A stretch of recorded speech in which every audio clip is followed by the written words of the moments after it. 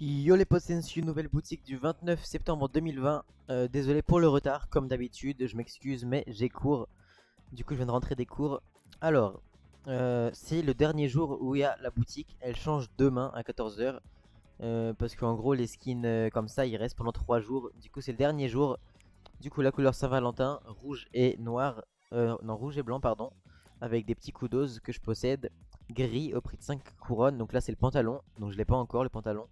Je vais essayer de l'avoir. Et euh, le, haut du corps au prix de 5 couronnes que j'ai réussi à me procurer. J'ai fait des top 1 hier. Du coup voilà euh, pour la boutique. Je vous réexplique au cas où. La boutique du bas c'est aléatoire pour tout le monde. C'est pour ça que je vous la montre pas. La boutique du haut, tout le monde a la même. C'est pour ça que je vous la montre.